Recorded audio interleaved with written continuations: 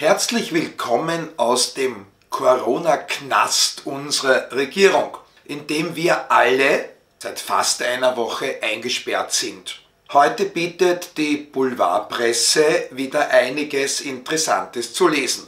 Zum Beispiel Ansteckpartys mit Corona-Zuckerln.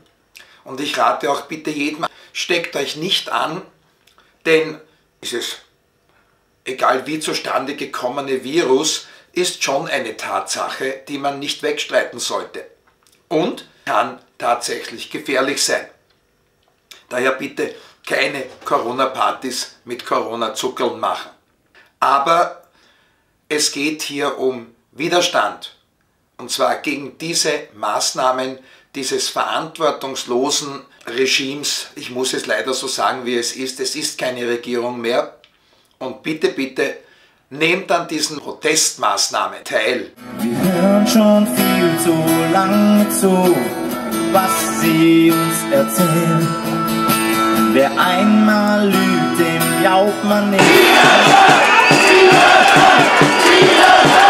Denn egal wie lange dieser Krieg auch immer dauern möge, wir möchten niemanden ausschließen.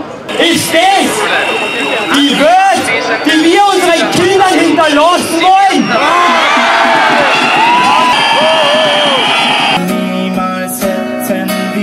geglaubt, wer ihr wirklich seid.